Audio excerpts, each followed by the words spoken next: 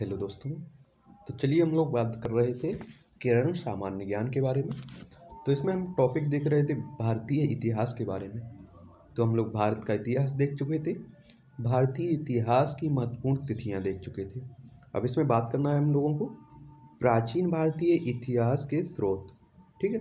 याद रखिए, जितने भी ये चैप्टर ख़त्म होते जा रहे हैं, वो सभी किरण सामान्य ज्ञान के नाम से, जो प्ले लिस्ट में सूची बनी हुई है उसी में डले हुए हैं। तो चलिए प्राचीन भारतीय इतिहास के स्रोत देखते हैं। तो पहले देखेंगे हम लोग सबसे पहले पुरातात्विक स्रोत, फिर साहित्यिक स्रोत, फिर विदेशी यात्रियों के विवरण देखेंगे। तो पुरातात्विक स्रोत, प्राचीन भारतीय इतिहास को जानने के लिए पुरातात्विक सामग्रियाँ सर्वाधिक प्रमाणित हैं। पुरातात्विक स्रोत में क्या क्या है? अभिलेख मुद्राएँ, स्मारक एवं भवन, मूर्तिकला, चित्रकला और अवशेष। तो सबसे पहले इसमें बात करते हैं हम लोग अभिलेखों के बारे में।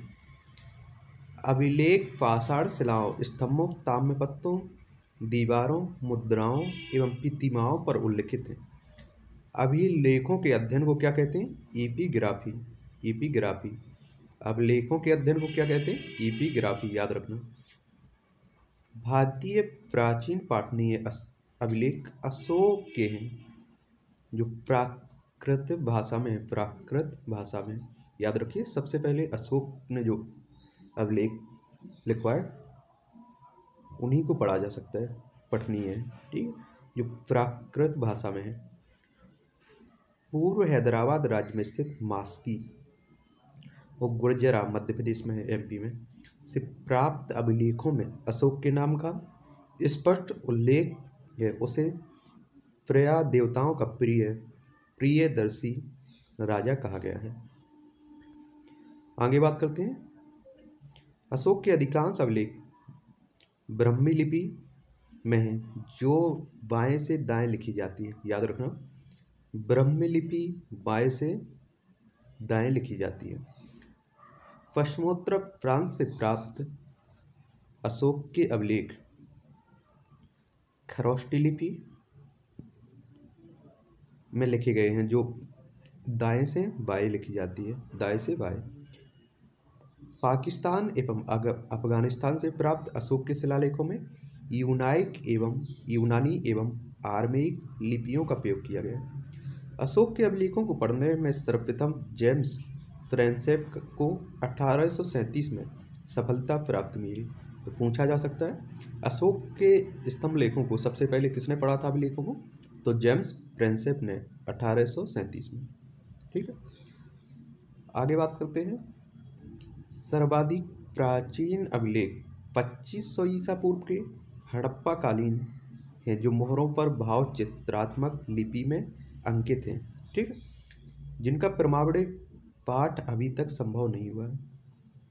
प्रथम श्रेणी के अभिलेखों में अधिकारों और जनता के लिए जारी किए गए सामाजिक, आर्थिक एवं प्रशासनिक राज्यादेशों एवं निर्णयों की सूचना रहती है, जैसे अशोक के अभिलेख, ठीक है? द्वितीय श्रेणी के अनुष्ठानिक अभिलेख, जिन्हें बौद्ध, जैन वैष्णव, शैव आदि संप्रदायों के मतानुयायियों ने स्तंभ स्तंभों पिस्तर फलकों, मंदिरों एवं प्रतिमाओं का पर उत्कीर्ण कराया? तृतीय श्रेणी के जो वे अभिलेख हैं, जिसमें राजाओं की विजय प्रशस्तियों की, का आख्यान तो है, लेकिन उनके दोषों का उल्लेख नहीं है। कुछ महत्वपूर्ण जो अभिलेख हैं, उन्हें देख लेते हैं हम लोग। ये अभिलेख हो गए और इस शासक एवं अभिलेख की विशेषताएँ हैं। तो सबसे पहले हाथी गुफा अभिलेख, तिथि रहित अभिलेख है एक। कलिंग राजा खारवेल से संबंधित है, ठीक है? फिर जूनागढ़ अभिलेख एक गिरनार अभिलेख है। रुद्र दामन से संबंधित है, सुदर्शन झील के बारे में जानकारी मिलती है इससे।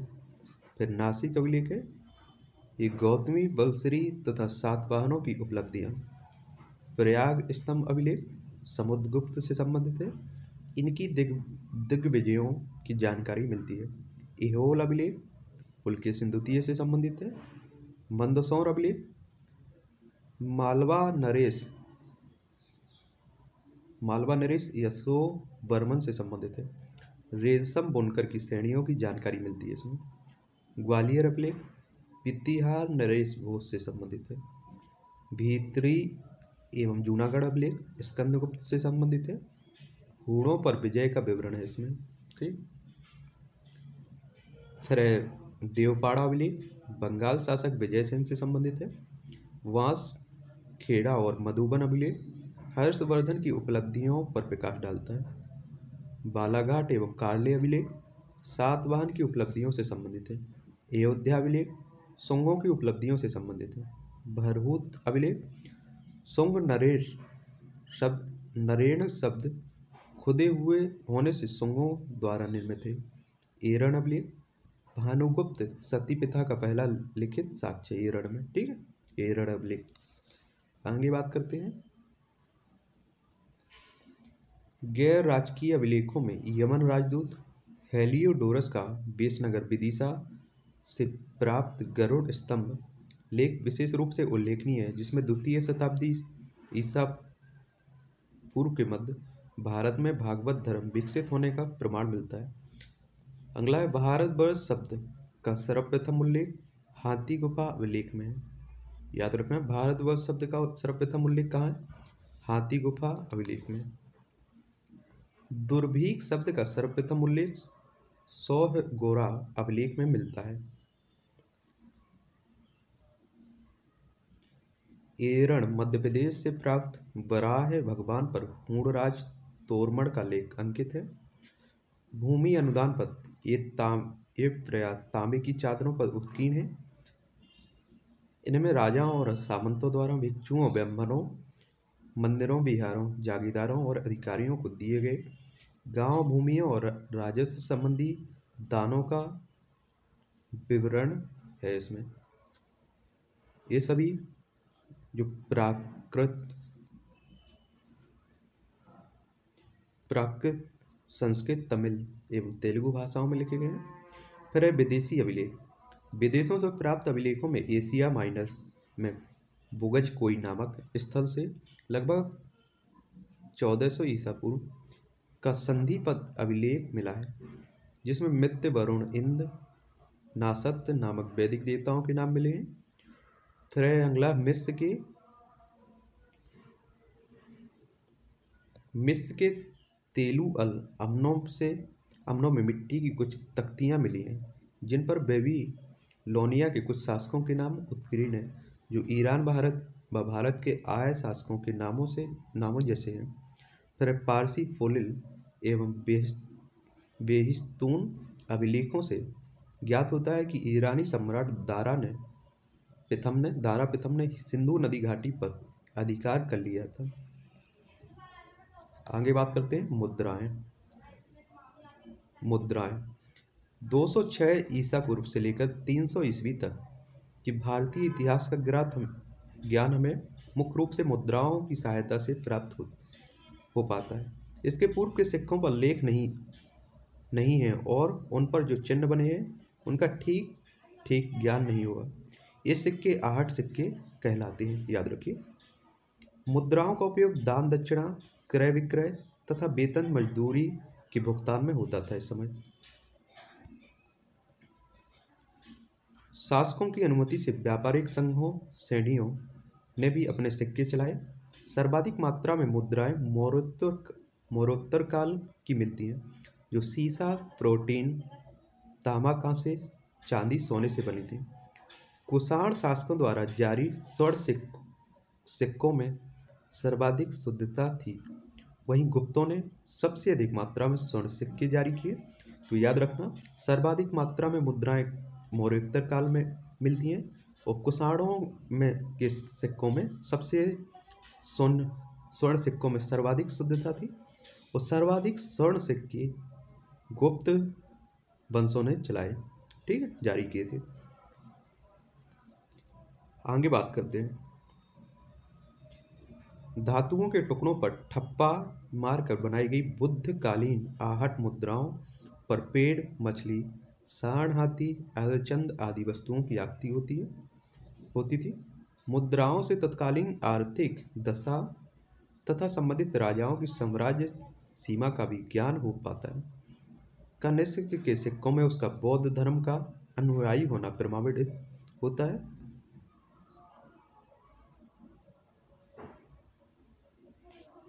समुद्रगुप्त के कुछ सिक्कों पर यूप बना है जबकि कुछ पर अश्वमेघ पराक्रम शब्द उत्कीर्ण है, जिसमें उसे बीणा बजाते हुए दिखाए गए हैं।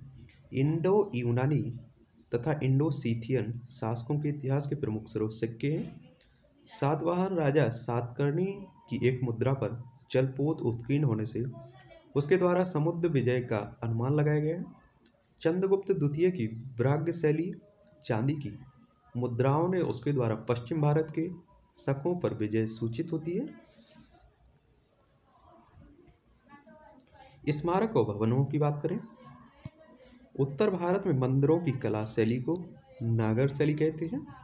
उत्तर भारतीय मंदिरों की कला शैली को क्या कहते हैं? नागर शैली, याद रखना। दक्षिण भारत, दक्षिण भारतीय मंदिरों की कला शैली को द्रविड़ शैली कहते हैं। उत्तर की शैली को, मंदिरों की शैली को नागर शैली।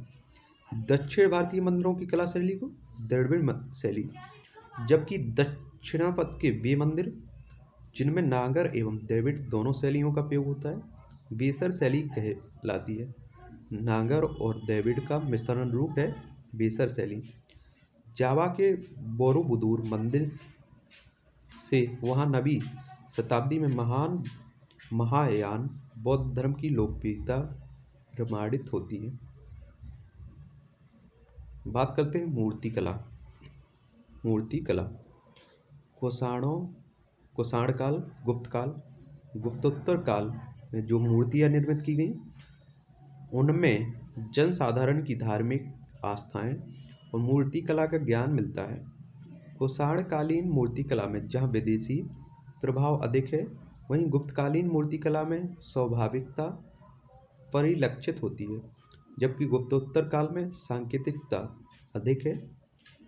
भरभूत बोधगया सांची अमरावती की मूर्ति कला में जन सामान्य के जीवन की यथार्थ झांकी मिलती है। बात करते हैं चित्रकला के बारे में।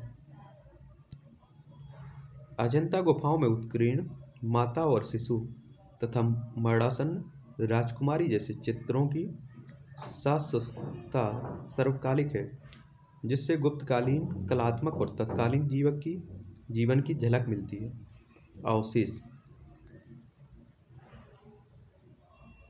अवशेष अवशेष की बात करें तो पाकिस्तान में सोहन नदी घाटी में उत्खनन द्वारा प्राप्त पुरापाषाण युग के पत्थर के खुरदरे, दुरे हथियारों, औजारों से अनुमान लगाया गया कि भारत में चार लाख से दो लाख बरस ईसा पूर्व मानव रहता था।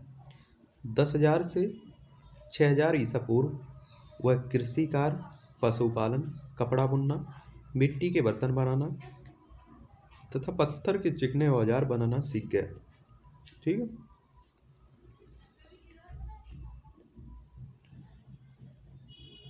गंगा यमुना के द्वाब में पहले काले, लाल मृदभांड और फिर चित्तित भूरे रंग के मृदभांड प्राप्त हुए।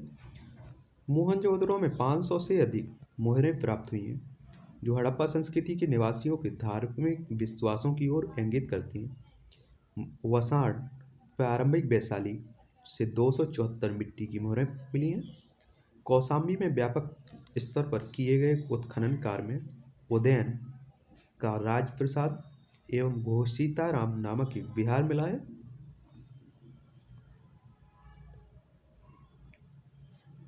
अतरंजी खेड़ा आदि की खुदाई से ज्ञात होता है कि देश में लोहे का प्रयोग एक हज़ार ईसा पूर्व के लगभग आरंभ हो गया था। रोमिला थापर रोमिला थापर इतिहासकार हैं के अनुसार लोहे का उपयोग 800 ईसा पूर्व से में आरंभ हुआ। दक्षिण भारत में अरीक मेडू नामक स्थल की खुदाई से रोमन सिक्के द्वीप का टुकड़ा, बर्तन आदि मिले, जिससे यह पुष्टि होती है कि ईसा की आरंभिक शताब्दियों में रोम तथा दक्षिण भारत के मध्य घनिष्ठ व्यापारिक संबंध थे। अब बात करते हैं हम लोग साहित्यिक स्रोत के बारे में। साहित्यिक स्रोत, धार्मिक स्रोत इसमें लौकिक साहित्य, धार्मिक में ब्राह्मण या वैदिक साहित्य, ब्राह्मणोत्तर, नित्तर या आवेदिक साहित्य, ठीक? तो सबसे पहले बात करते हैं हम लोग वैदिक साहित्य के बारे में।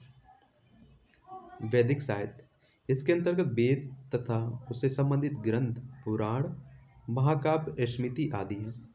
भारत के सबसे प्राचीन ग्रंथ वेद का शाब्दिक अर्थ है ज्ञान।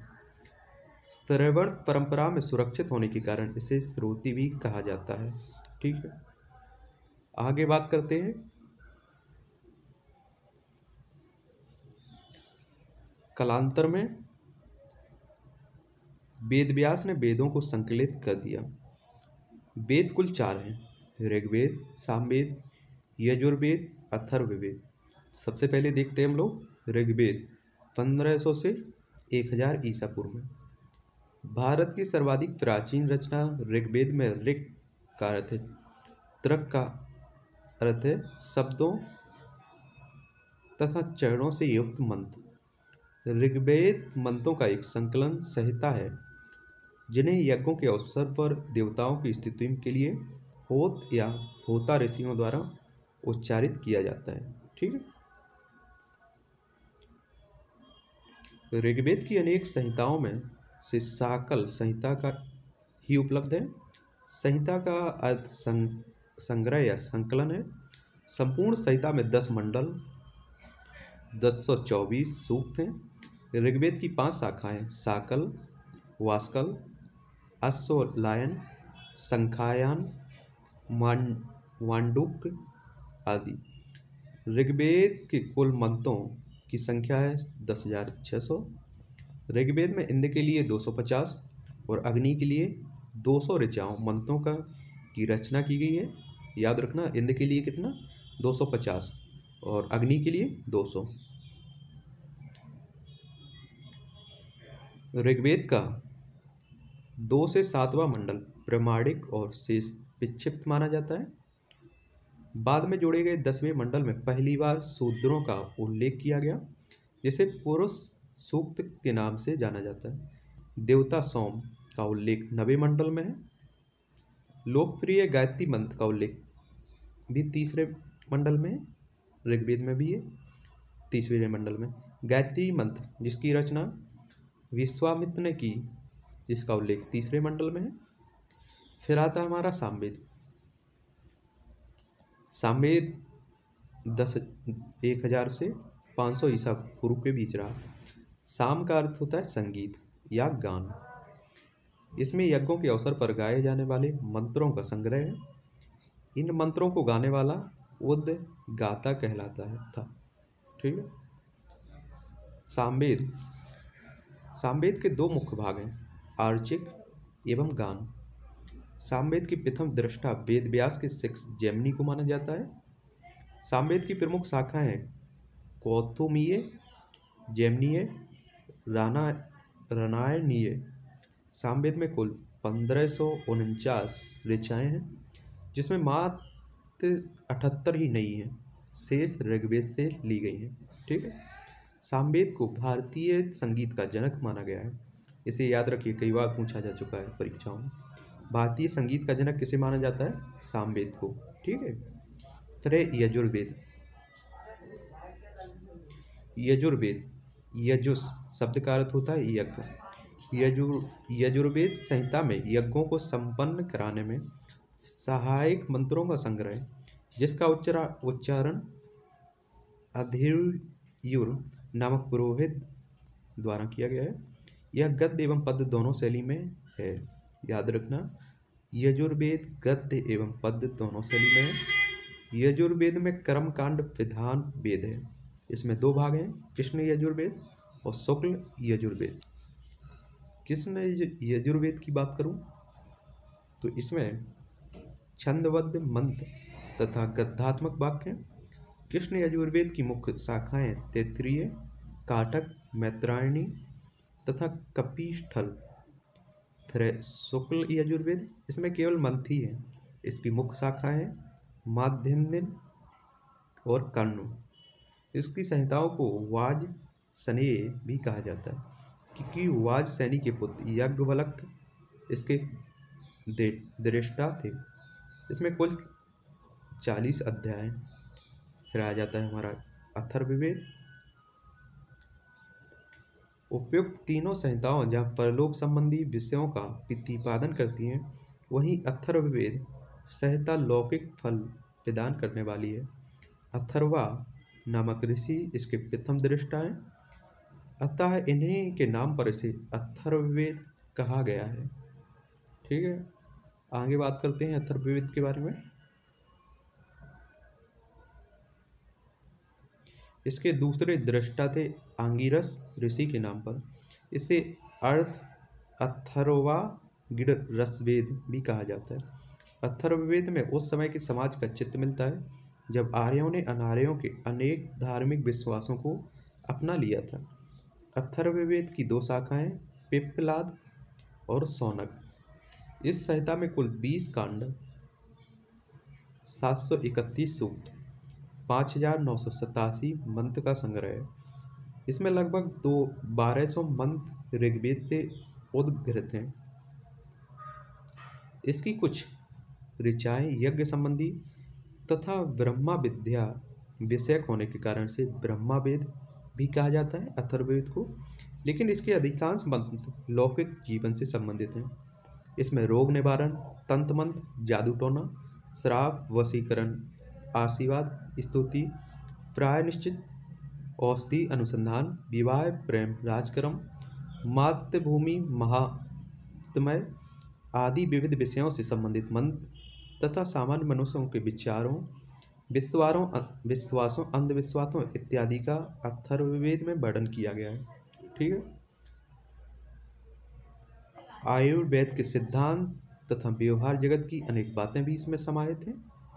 फिर आता है हमारा ब्राह्मण ग्रंथ। ब्राह्मण ग्रंथ की रचना यज्ञ, यज्ञादि विद्वानों द्वारा, विद्वानों का प्रतिपादन तथा उनकी क्रिया को समझाने के उद्देश्य की गई है। ब्रह्मा का शब्दार्थ है यज्ञ। अतः यज्ञ विषयों के प्रतिपादक ग्रंथ हैं ब्राह्मण। ग्रंथी जहाँ स्तुति प्रधान है, वही ब्राह्मण ग्रंथ विधि प्रधान है, जो अधिकांश गद्य में लिखे गए प्रत्येक वेद हेतु पृथक ब्राह्मण ग्रंथ लिखे गए हैं। बात करते हैं अरण्य ग्रंथ के बारे में। इसकी रचना अरण्य अर्थात वनों में पढ़ाए जाने के निमित्त होने के कारण इसे अरण्य कहा जाता है। इसमें ज्ञान और चिंतन को प्रधानता दी गई है। इसमें दार्शनिक रचनाओं से ही कलांतर में उपनिषदों का विकास हुआ है। अब बात करते हैं उपनिषद। तो याद रखना है, उपनिषदों को वेदांत भी कहा जाता है। उपनिषद मुख्यतः ज्ञान मार्गी रचनाएँ हैं। एक सौ आठ है, याद रखना उपनिषद। इसकी मुख्य विषय है ब्रह्मा विद्या। उपनिषद का शाब्दिक अर्थ होता है उप समीप निष्ठापूर्वक सद बैठना, अर्थात रहस्य ज्ञान हेतु गुरु के समीप निष्ठापूर्वक बैठना। वैसे तो मुक्ति मुक्ति को सनद में 108 उपनिषदों का उल्लेख मिलता है। लेकिन सर्वाधिक प्राचीन और प्रमाणिक बारह उपनिषद माने जाते हैं। कौन कौन से हैं बारह? बारह उपनिषद हैं, ईस, कैन, कट कृष्ण मुंडक, मांडुक, तेतरीय, एतरेय, छंदोग, ब्रहन वेहदारण श्वेता श्वेतर और ओस्तिकी। और बारह बार शंकराचार्य ने आरंभिक दस उपनिषदों पर भाष्य लिखा है। ठीक है? बात करते हैं आगे। बहुत ही महत्वपूर्ण है, याद रखिए। भारत का राष्ट्रीय आदर्श वाक सत्यमेव जयते मुंडोक मुंडोक उपनिषद से उद्गृत है। मुंडोक उपनिषद से लिया गया है, सत्यमेव जयते। ठीक है? श्वेतांबर उपनिषद, श्वेतासोत्तर उपनिषद में सर्वप्रथम भक्ति शब्द का उल्लेख मिलता है। उपनिषदों के विकास में गार्गी और मित्तीय के साथ दीर्घकालिक तक ब्राह्मण, क्षत्रिय क्षत्रिय, वैश्य मनीषियों ने बौद्धिक योगदान दिया। उपनिषदों में सर्वत्र सत्य को खोजने की सच्ची उत्कंठा परिलक्षित होती है। नचिकेता यम का संवाद कंठो कठो उपनिषद में है।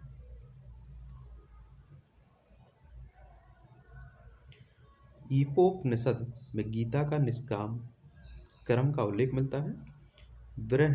बृहदारण्य उपनिषद में अहम ब्रह्मास्म पुनर्जन्म का सिद्धांत याज्ञवल्क गार्गी संवाद का वर्णन है। फिर आते हैं वेदांग। वेदों, संहिताओं के अर्थ को सरलता से समझने तथा वैदिक कर्मकांडों के प्रतिपादन में सहायतार्थ सहायतार्थ वेदांग को वेदांग नामक जीवन साहित्य की रचना की गई है, जिनकी संख्या छः है। वेदांग, शिक्षा पहला कल्प, व्याकरण, निरुक्त, छंद, ज्योति। इसमें शिक्षा पहला उच्चारण विधि। वैदिक मंत्रों के शुद्ध उच्चारण एवं शुद्ध स्वय क्रिया की विधियों के ज्ञानार्थ लिखित साहित्य को शिक्षा कहा जाता है। वैदिक शिक्षा संबंधी प्राचीन साहित्य पित्ती साक्ष्य? फिर दूसरा है कल्पसूत्र कर्मकांड। कल्प नामक वेदांक में छोटे छोटे वाक्यों में सूत्र बनाकर महत्वपूर्ण वैदिक विधि विधानों को प्रस्तुत किया गया है। सूत्र ग्रंथों को ही कल्प कहा जाता है। कल्प सूत्र चार प्रकार के होते हैं। ठीक है? जिनमें है व्या, अगला है व्याकरण।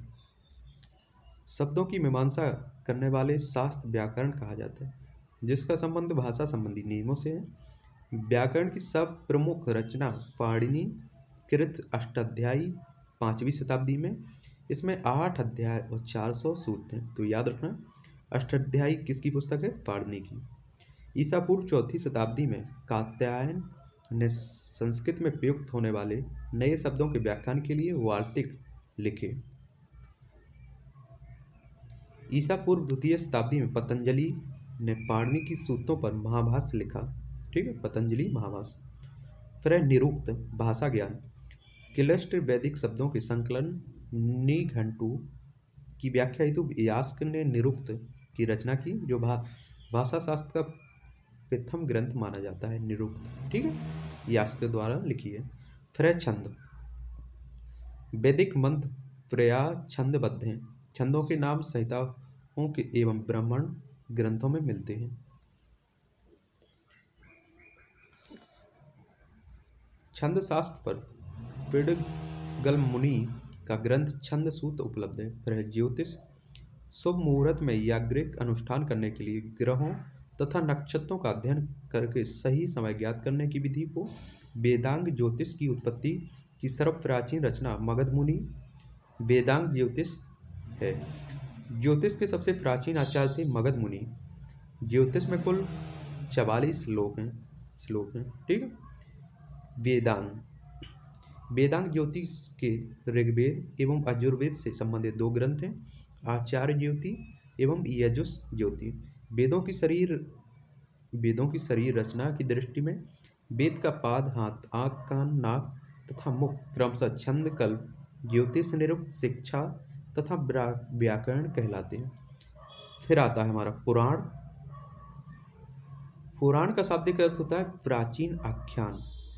पुराणों में मत्स्य पुराण सबसे प्राचीन है, याद रखना, मत्स्य पुराण सबसे प्राचीन है। पाँचवीं से चौथी शताब्दी ईसा पूर्व में पुराण ग्रंथ अस्तित्व में आ चुके थे।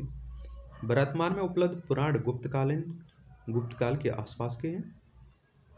पुराणों की संख्या अठारह है। जिनमें कौन कौन है?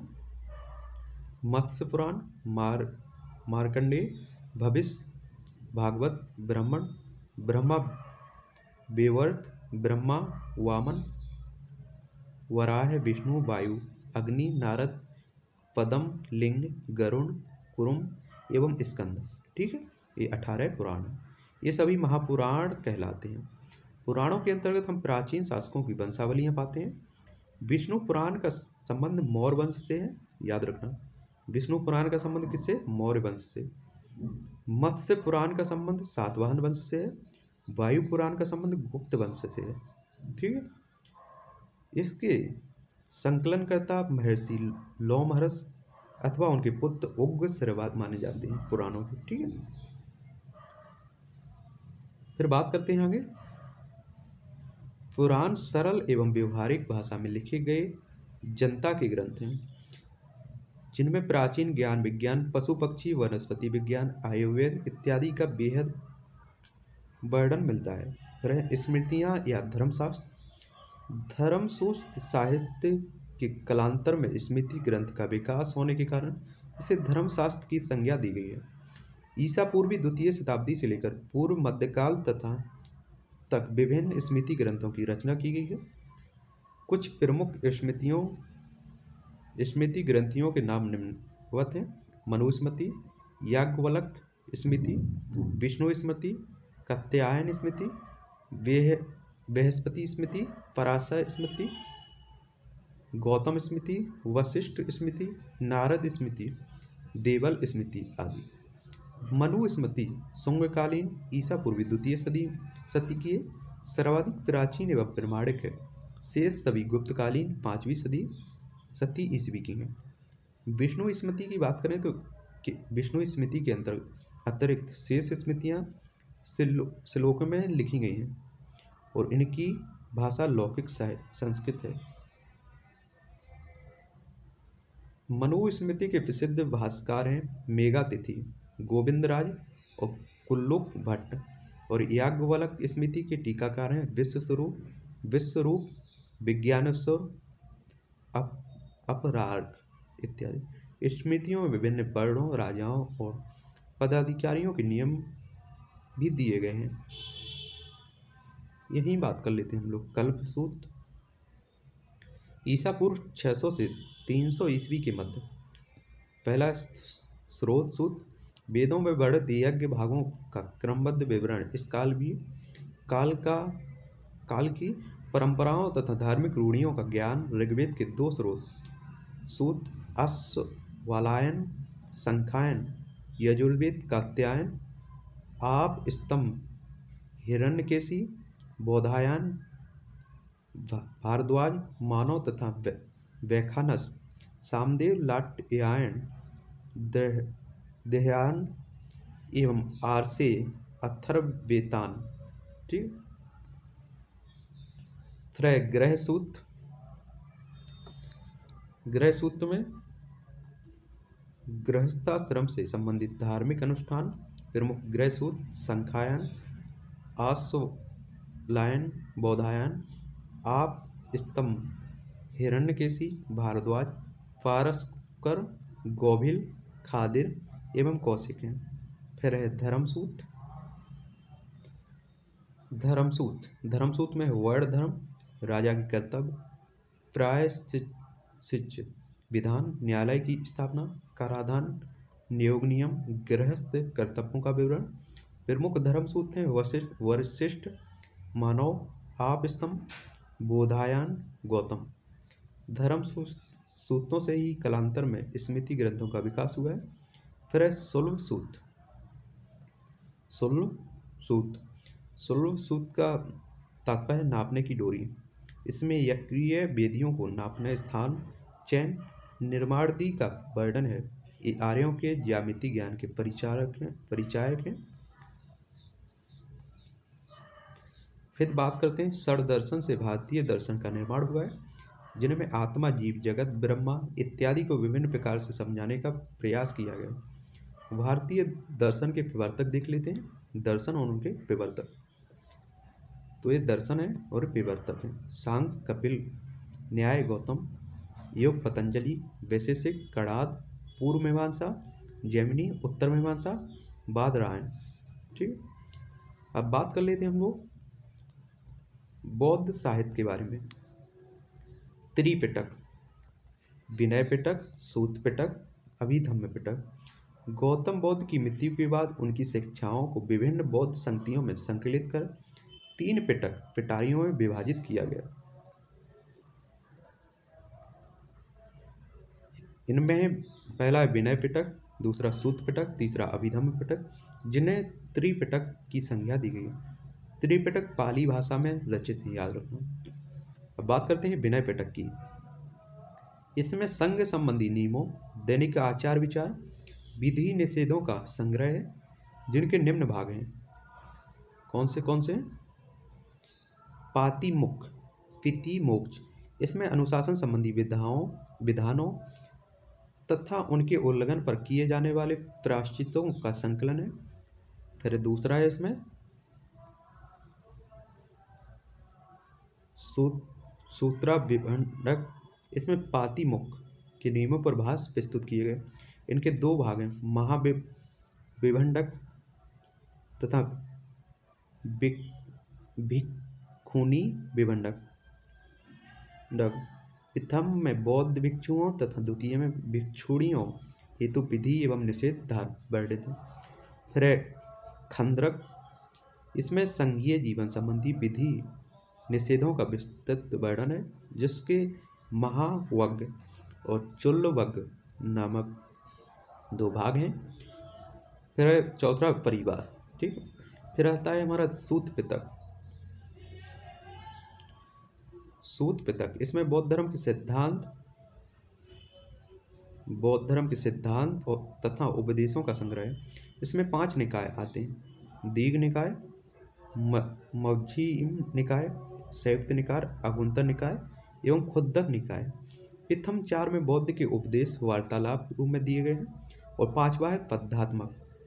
खुद्रक निकाय में कई ग्रंथ आते हैं, जैसे खुद्रक पाठ, धम्मपद, उदान सूत निपात विमान वत्थु पंतवत्थु थिरगा थेरगाथा, थेरीगाथा, जातक आदि। जातकों में बौद्ध के पूर्व जन्मों की कहानियाँ संग्रहित हैं। अभिधम पितक यह प्रश्नोत्तर क्रम में है। इसमें दार्शनिक सिद्धांतों का संग्रह है। इसमें सात ग्रंथ हैं धम्म संगड़ी विभंग धातु कथा पुग्गल पंचती कथावस्तु, यमक और पठ ठान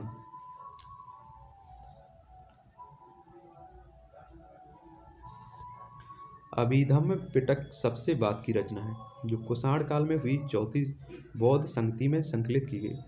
त्रिपिटकों के अतिरिक्त पाली भाषा में निम्नलिखित अन्य बौद्ध ग्रंथों का नागचन कीर्ति, मिलिंद पन्हो तथा सिंगली अनुसूतियों, दीपवंश एवं महावंश सिंघल या लंका का इतिहास उल्लेखनीय है। संस्कृत बौद्ध ग्रंथों की बात करें तो संस्कृत बौद्ध लेखकों में सर्वाधिक महत्वपूर्ण नाम कवि एवं नाटककार अश्वघोष का है।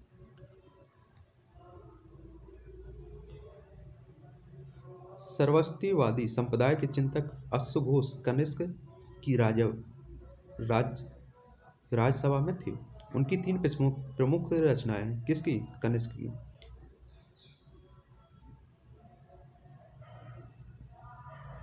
सर्वास्तिवादी संप्रदाय के चिंतक अश्वघोष कनिष्क के प्रथम सती ईस्वी के राज्यसभा में रहते थे। उनकी तीन प्रमुख रचनाएँ अश्वघोष जी की बौद्धचरित सुंदरानंद और सारीपुत्र विकरण।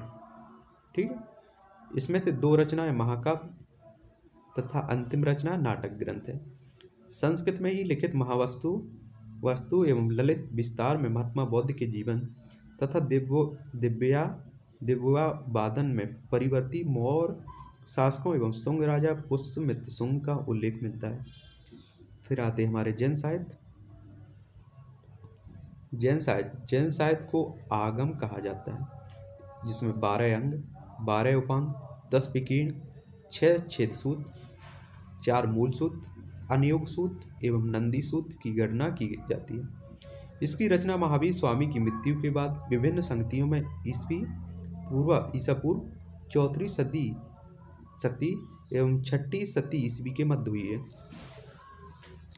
बारह अंगों की बात करूँ? बारह अंगों में शामिल हैं। आचारंग, सूत, सूर कंडक सूत सूत के तांग, धावंग, समवावयंग, भगवती सूत नवधम्म का सूत। वास गद साउ सूत और फिर आठवा अंत गढ़ दसाओ ठीक है, इसमें भगवती सूत बहुत चर्चित रहता है, ठीक है, याद रखिए। जैन से संबंधित है। नोवा है हमारा, अड़ोत्रो वाइक वायक दशाओं फिर दसवा है पट हावा, गरडाक प्रश्न व्याकरण। ग्यारहवा है बी वाग स्वयं। बारवा है दिट्टी वाय दृष्टिवाद। ठीक है? फिर बारह है उपांग है इसमें।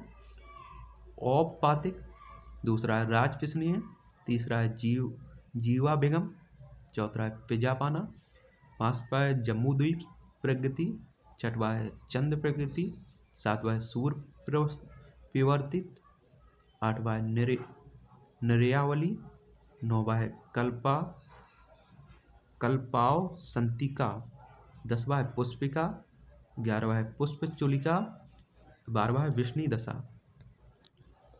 बात करते हैं पिकीड, प्रकीड दसें चतुसरण, दूसरा है अतुर प्रत्याख्यान तीसरा है भक्ति प्रज्ञा, चौथा है संस्कार पांचवा है तंदुल, वितालिक, छठवा है चंद विद्यक सातवा है गढ़ विद्या आठवा है देवेंद्र स्तव, नौवा है वीर स्तव, दसवा है महापित्याख्यान बात करते हैं छेद सूत्र की। छह छेद सूत्र निषीद महानिषीद व्यवहार, आचार दशा, कल्प और पंचकल्प।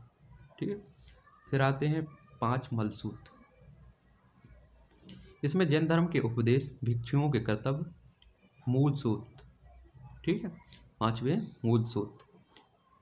इसमें जैन धर्म के उपदेश, भिक्षुओं के कर्तव्य बिहार जीवन, पथ, नियम आदि का वर्णन है। जिनकी संख्या चार है। उत्तराध्ययन सड़ावश्यक दस विकालिक, पिंड नियुक्ति या पाक्षिक सूत पाक्षिक सूत्र फिर नंदी सूत्र एवं अनुयोग द्वार। ये जैनियों के स्वतंत्र ग्रंथ तथा विश्वकोश हैं। उपयुक्त सभी ग्रंथ स्वतांबर संप्रदाय के जैनों के लिए हैं। याद रखिए, अभी तक जो भी देखे। अब बात कर लेते हैं दिगंबर। दिगंबर संप्रदाय के मता, मतावलंबी इन्हें प्रमाणक नहीं मानते। स्वतांबर अनुश्रुति के अनुसार महावीर की मृत्यु के 140 वर्ष बाद वल्लभी में देवधी क्षमा श्रवण की अध्यक्षता में एक सभा हुई, जिसमें धार्मिक साहित्य को संकलित किया गया है। इसके बाद हुई पाटलिपुत्र सभा में कुछ ग्रंथों का संकलन हुआ है। दिगंबर मतावलंबी भद्रबाहु की शिक्षाओं को ही प्रमाणित मानते हैं। ठीक है? फिर बात करते हैं हम लो, लौकिक साहित्य के बारे में धर्मोत्तर। इसमें है रामायण। वाल्मीकि कृत महाकाव्य रामायण में मूलतः छः हज़ार श्लोक थे जो कलांतर में बारह हज़ार और फिर उसके बाद चौबीस हज़ार हो गए। ठीक है? तो याद रखना पहले छः हज़ार थे इसमें, रामायण में श्लोक, फिर बारह हज़ार हुए, फिर चौबीस हज़ार। इससे चतुर, चतुर्विशति सहस्ती संहिता भी कहा जाता है। इसकी रचना संभवतः ईसा पूर्व पाँचवीं सदी, सती में हुई है। इसकी पांचवी अवस्था ईसा की बारहवीं सदी में, सामने आई। कुल मिलाकर इसकी रचना महाभारत के बाद की प्रतीत होती है। यह सात कांड, कांडों में विभक्त है। बालकांड अयोध्या कांड अरण्य कांड सुंदरकांड किस्कंदा कांड कांड युद्ध कांड और उत्तरकांड। ठीक है? ये अधिकांश भागों को विक्षिप्त माना जाता है। फिर आता है महाभारत। महाभारत तो वेदवास वेद व्यास कृत महाभारत, संभवतः दसवीं ईसा पूर्व से चौथी सदी ईसा ईस्वी तक, चौथी सदी ईस्वी तक की स्थिति का आभास देना है, देता है। पहले इसमें मात्र अट्ठासी सौ आठ हज़ार आठ सौ श्लोक थे और इसका नाम जय संहिता था। विजय संबंधी ग्रंथ था बाद में श्लोक संख्या बढ़कर चौबीस हज़ार हो गई। और यह भारत नाम से प्रसिद्ध हुआ, क्योंकि इसमें वैदिक जन भारत के वंशजों की कथा थी। फिर कलांतर में एक लाख एक लाख श्लोक हो गए और यह सह सत साहस्री संहिता या महाभारत कहलाने लगा। इसमें कथोप कथाएँ, वर्णन और उपदेश हैं। मूल कथा कौरवों पांडवों के युद्ध की है, जो उत्तर वैदिक काल की हो सकती है। वर्ड नांस का संबंध वेदोत्तर काल से थी। उपदेशात्मक अंश का संबंध मौर्योत्तर और गुप्त काल से हो सकता है। ठीक है, आगे बात करते हैं। महाभारत में अठारह पर्व हैं। आदि पर्व, सभा पर्व, वन पर्व, विराट पर्व, उद्योग पर्व, भीष्म पर्व, द्रोण पर्व, कर्ण पर्व, सल पर्व सौप्तिक पर्व, स्त्री पर्व, शांति पर्व, अनुशासन पर्व अश्वमेघ पर्व, आश्रमवासी पर्व, मौसल पर्व, महाप्रस्थानिक पर्व, स्वर्गारोहण पर्व। इसके अलावा हरिवंश इसका परिशिष्ट है, जिसमें कृष्ण वंश की कथा है, खिल पर्व, ठीक? फिर बात करते हैं आगे अर्थशास्त्र। अर्थशास्त्र, कौटिल्यकृत अर्थशास्त्र महत्वपूर्ण, मौर्यकालीन विधि ग्रंथ है। याद रखना है, अर्थकाल की रचना किसने की? कौटिल्य ने। कौटिल्य को विष्णुगुप्त अथवा चाणक्य के नाम से भी जाना जाता है। याद रखिए कौटिल्य को विष्णुगुप्त अथवा चाणक्य के नाम से भी जाना जाता है, जो चंद्रगुप्त मौर्य का गुरु गुरु था। अर्थशास्त्र पंद्रह अधिकरणों में विभाजित है, जिसमें द्वितीय और तृतीय सर्वाधिक प्राचीन है। ठीक है? याद रखिए। फिर होगा हमारा। आगे बात करेंगे। इस ग्रंथ को वर्तमान स्वरूप ईसवी सदी के, ईसवी सन के आरंभ में दिया गया, लेकिन इसमें प्राचीन अंश मौर्यकालीन समाज और अर्थतंत्र पर प्रकाश डालते हैं। इससे प्राचीन भारतीय राजतंत्र और अर्थव्यवस्था के अध्ययन की महत्वपूर्ण सामग्री उपलब्ध होती है। अब बात कर लेते हैं हम लोग प्रमुख साहित्य, संस्कृत साहित्य। तो सबसे पहले देखते हैं कालिदास। सैब मताव मतावलंबी कालिदास गुप्त सम्राट चंद्रगुप्त द्वितीय के दरबारी कवि थे। कालिदास द्वारा विरचित सात पद और नाट्य ग्रंथों को की प्रमाणिकता सुविदित है। इनके नाटक निम्नलिखित हैं। ठीक है? याद रखिए, चंद्रगुप्त द्वितीय के दरबारी कवि थे कालिदास जी। ठीक है? बात करते हैं सबसे पहले, ऋतु संगार यह कालिदास की प्रथम काव्य रचना है, जो छह सर्गों, छह ऋतुओं का एक खंड काव्य है। ग्रीष्म, वर्षा, शरद, हेमंत, शिशिर, वसंत। दूसरा है मेघदूत। पूर्व मेघ तथा उत्तर मेघ में विभक्त खंड काव्य, वियोग श्रृंगार की उत्कृष्ट रचना है। इसमें बात करते हैं हम लोग, कुमार संभव। कौन सा? कुमार संभव। कुमार संभव, सत्रह सर्गों का महाकाव्य है, जिसमें शिव एवं पार्वती के पुत्र कुमार कार्तिकेय के जन्म की कथा वर्णित है। फिर है रघुवंश, उन्नीस सर्गों में विभक्त महाकाव्य, जिसमें राजा दिलीप से लेकर अग्निवर्ण तक चालीस इच्छाकु वंशी राजाओं की चरित्र चित्रण है। फिर है पांचवा मालविक काग्निमित्र पाँच अंकों में बटी कालिदास की प्रथम नाट्य रचना, जिसमें सुंग राजा अग्निमित्र और मालविका की प्रणय कथा वर्णित है। फिर बात करते हैं, छठवा होगा। विक्रमोवर्षीय कालिदास का द्वितीय नाट्य ग्रंथ पाँच अंकों में पुरूर्वा एवं उर्वशी की प्रणय कथा है। फिर अभिज्ञान शकुंतलम, कालिदास की सर्वोत्कृष्ट नाट्य रचना सात अंकों में हस्तिनापुर के राजा दुष्यंत एवं कर्ण, ऋषि की पालिता पुत्री शकुंतला के सहयोग सहयोग एवं वियोग श्रृंगार का वर्णन करती है। फिर है अगले। भारवी अठारह सर्गों में विभाजित कीर्तार्जुनियम नामक महाकाव्य की रचयिता हैं। फिर है माघ, महाकाव्य शिशुपाल वध की रचयिता हैं छः सौ पचहत्तर ईस्वी में। फिर है श्रीहरेश श्रीहर्ष बारहवीं सती, गढ़वाल, जयचंद। नैस धिये धिये, धियम चरित, महाकाव्य। खंड खंड, खाद, आद्वैत का प्रणय के रचनाकार हैं फिर है भास, ईस्वी पूर्व, पांचवी एवं चौथी सती। कालिदास के पूर्ववर्ती प्रथम नाटककार, तेरह नाटकों के प्रेडेता स्वप्नवास वत्ता उरुभंग, दूसरा उरुभंग। पितीम का अभिषेक, पंचरात, मद, मध्यम व्यायाम, दूध घटोत्स, कर्णभार दूतवाक बालचरित, दरिद्र चारुदत्त, अविमारक पितिज्ञा योग योगंधरायण फिर विशाखा दत्त एक गुप्तकालीन है विशाखा दत्त इनकी रचना है मुद्रा राक्षस और दिवी चंद्रगुप्तम, ठीक है? शूद्रक ने ही अपनी रचनाओं का पात्र राज परिवार के स्थान पर समाज के मध्यम वर्ग के लोगों को बनाया। फिर है हर्षवर्धन छः सौ छः से छः सौ सैंतालीस ईस्वी। तीन नाटक हैं इनकी, रत्नावली, प्रियदर्शिका और नागानंद के लेखक हैं। ठीक है, हर्ष। आगे बात करते हैं। भावभूति, सात सौ ईस्वी, यशोवर्धन कन्नौज के। तीन नाटक हैं, मालवी, माधव उत्तर रामचरित महावीर चरित याद रखना उत्तर रामचरित भावभूति ने लिखा है। फिर राजशेखर कन्नौज के प्रतिहार राजा राजाओं महेंद्र, महेंद्रपाल तथा मही, महीपाल की राजभाषा, राजसभा में निवास करने वाले प्रसिद्ध संस्कृत कवि हैं राजशेखर। चार नाटकों एवं एक अलंकार शास्त्र का प्रेरणा किया उन्होंने बाल रामायण, बाल भारत, प्रचंड पांडव विद्य साल भंजिका और कपूर मंजरी, काव्य मीमांसा इनकी प्रमुख रचना है फिर बात करते हैं हम लोग गद्य साहित्य। बाण भट्ट, हर्ष कालगिन हर्षचरित्र लिखी इन्होंने कादम्बरी फिर हैं दंडी, पल्लव नरसिंह बर्मन 690 से 700 ईस्वी। काव्यदर्श, दस कुमार चरित, अरंती सुंदरी कथा है इनकी। अब बात करते हैं ऐतिहासिक साहित्य के बारे में।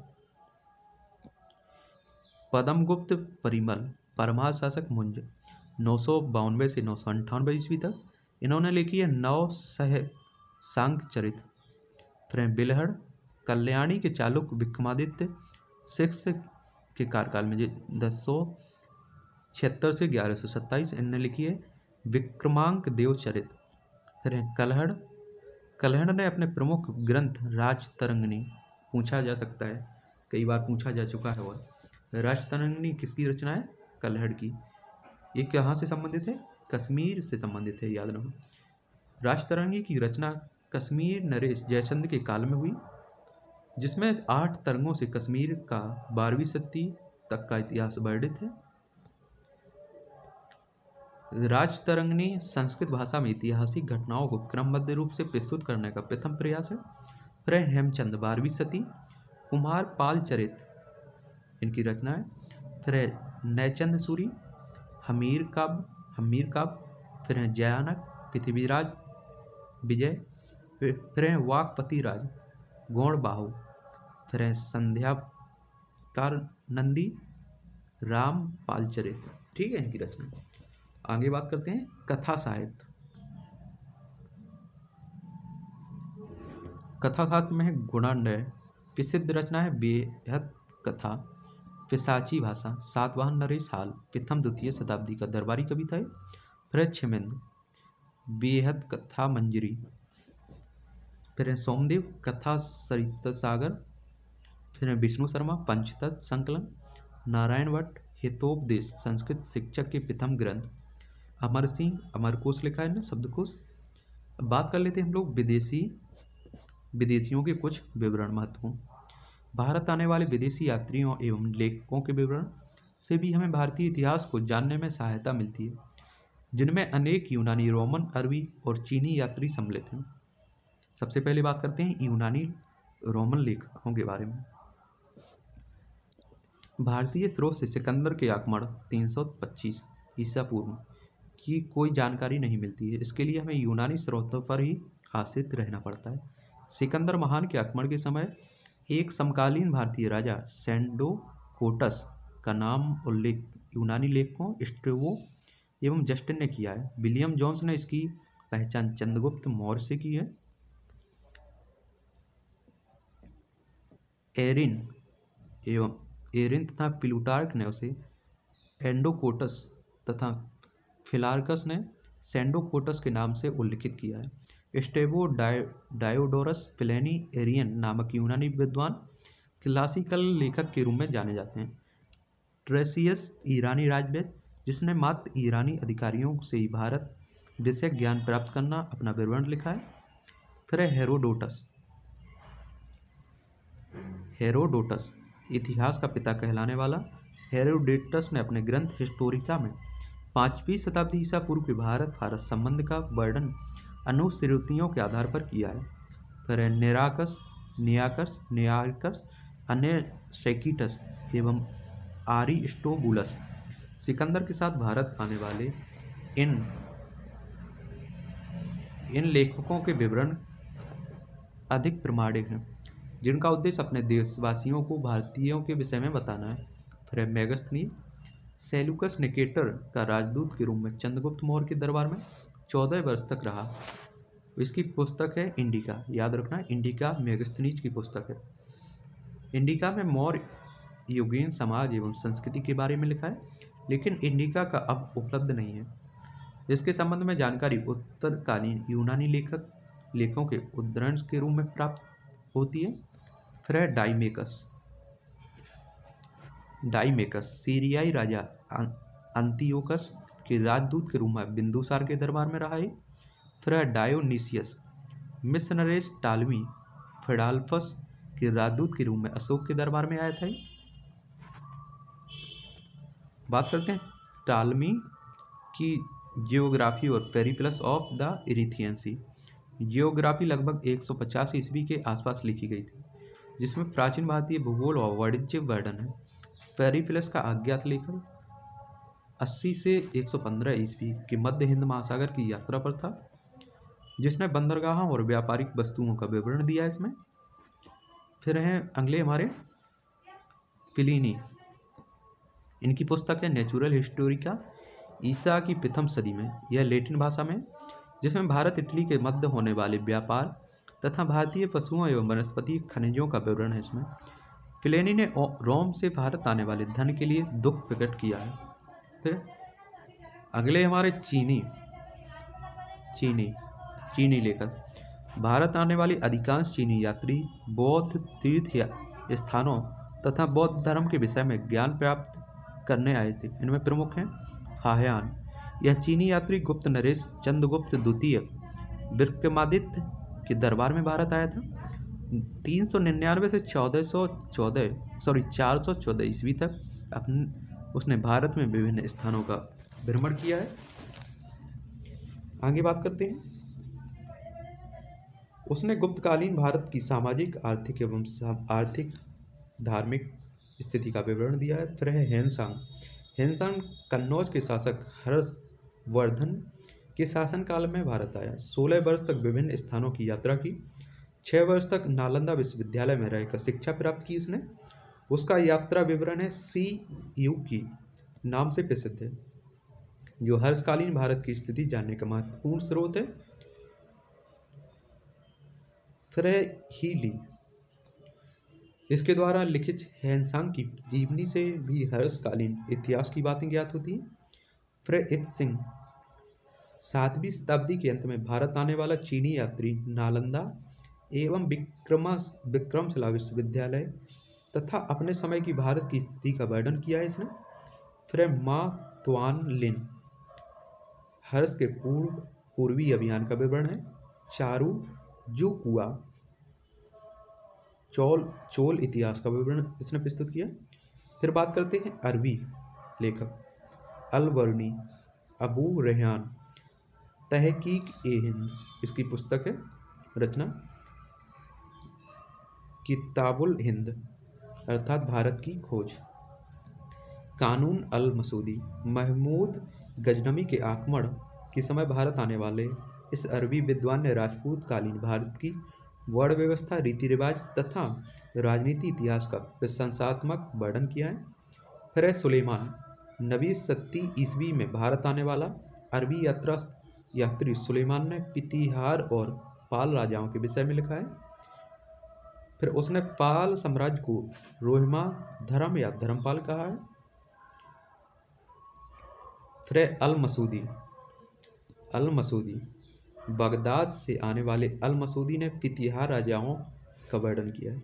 उपयुक्त लेखकों के अतिरिक्त तिब्बती बौद्ध लेखक तारानाथ बारहवीं सदी के ग्रंथों कंग कनग्यू और तनग्यू से भी भारतीय इतिहास पर प्रकाश पड़ता है। वेनिस, इटली का प्रसिद्ध यात्री मार्को पोलो, तेरहवीं शताब्दी के अंत में पांड पांड राजा, राज्य की यात्रा पर आया था।